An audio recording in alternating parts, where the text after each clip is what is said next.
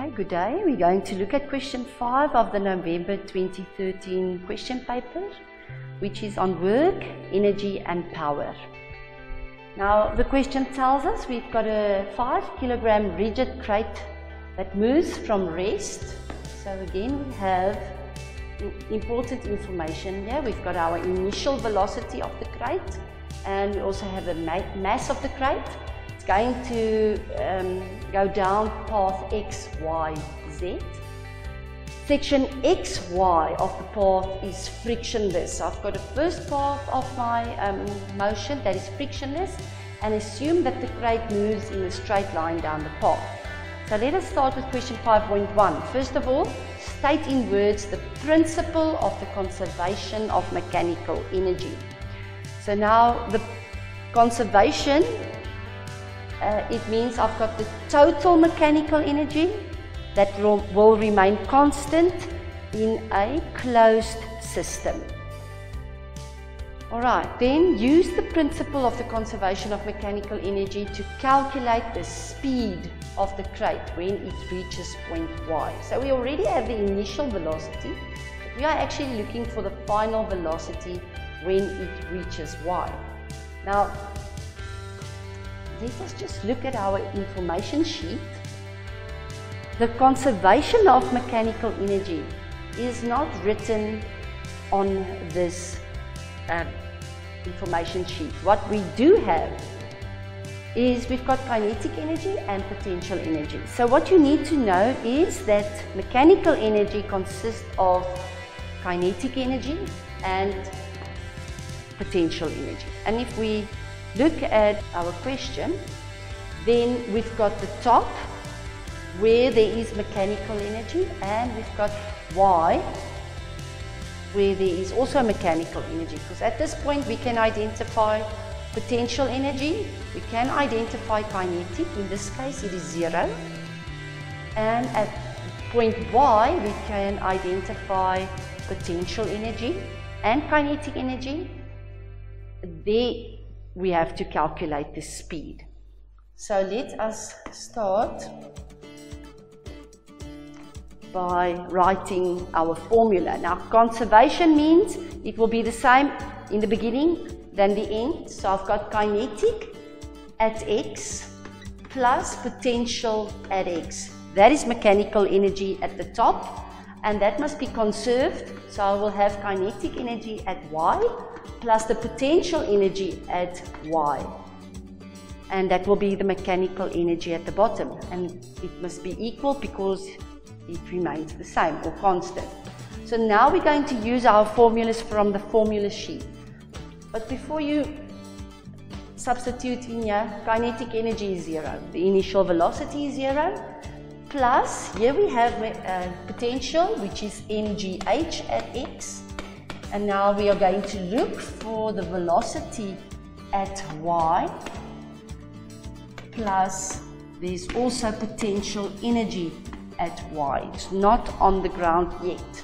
Still one meter above. Now we'll just substitute 5 times 9,8 times 5 meters above the ground. Half of 5 times v squared is what we are looking for. Plus 5 times 9,8 times 1. So now it will be this answer minus that one, divide by your 2,5. 5 So 5 comma 9, uh, times 9,8 times 5 minus that 5 times 9,8 times 1. And after you've done that, divide it by half of 5, which is 2,5, and that will give you V square, and of course the, the square root of everything will give you the velocity of 8,85 meters per second. Right, next question.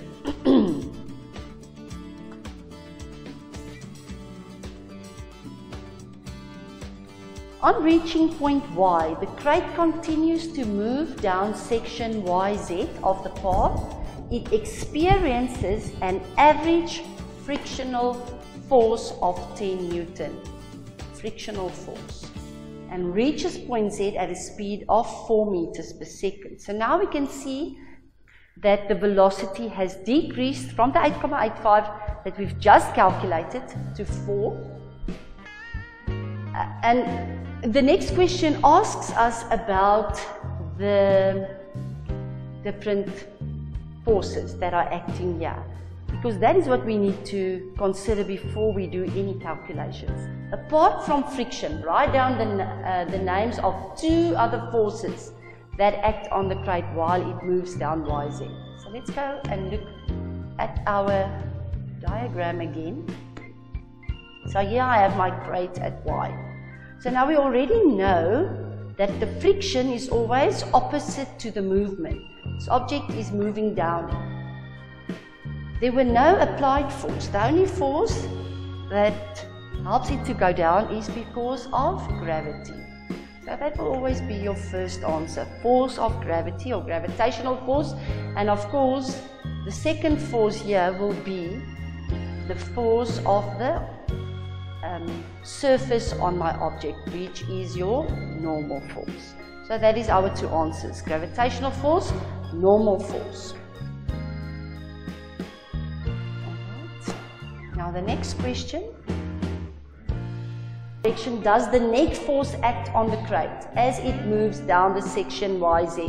And we only have to answer from Y to Z or Z to Y. So let's just go back to our diagram. So again, the net force is the force that is the same as the other forces acting together. And that's why they are referring to the forces. We always have to identify that force. So we've got our frictional force. But now gravitational force is not in the same direction. So we don't really use gravitational force. We use the component of gravitation, which we call F parallel. Now these two are in the same direction. I can add them together. For this object to go slower, the net force must be in the opposite direction. So it will be from Z to Y. Then we need to use the work energy theorem to calculate the length of YZ. Now let's go back to our information sheet. Now the work energy theorem is this net work that changes the kinetic energy. But now in this case, we have friction force, so we don't have a frictionless um, situation anymore. That's why we're going to work with the non-conservative forces. And if you look at, at our diagram once again, you will see that we have potential energy that changes and we have the kinetic energy that changes. So the equation on, on the non-conservative forces, which in this case will only be the frictional force, is a the equation we will use. And it's similar to that um, work energy theorem because I still have work, but now it's only the work done by the non-conservative force, which is the friction, and it changes the kinetic energy and it changes the potential energy. So we will have a situation where I have final ki uh, kinetic energy minus the initial kinetic energy, that is for change, plus the final potential energy minus the initial potential energy. And now you cannot leave this open because what? It can't be zero, right? So if we look at our information sheet, work is F delta X cos theta. And there's the delta X that we are actually looking for. But then our force is frictional force that we are going to work with because that is our non-conservative force. So we will just put in the frictional force delta x cos theta and we will write our formula a little bit further because here we will substitute our formulas. We don't have it as energy, we have it as mass and velocities. Right? Plus mgh final minus mgh initial. Now we can start to substitute. Now the frictional force is given as 10. We don't add minus 10 because this cos is going to be our um, direction. So we've got an object moving down the slope, but this non-conservative force is working up the slope. That means I have cos 180. If they are in the same direction, it is cos 0. But in this case, they are in opposite directions, so we work with cos 80. And here we will have half of the mass, which is 5.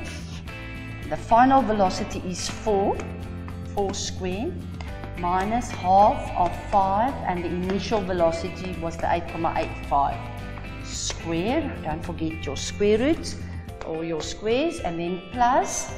Now here we have final at Z which is on the ground. So now my potential energy is zero. There it's still one meter above the ground. So the final will be zero minus 5 times 9,8 times 1. All right. And now it's you do this calculation, divide by the minus 10, because cos 180 is just minus 1 times 10 will give you negative 10 that you will divide on the side. So we will get delta x as 20,48 meters.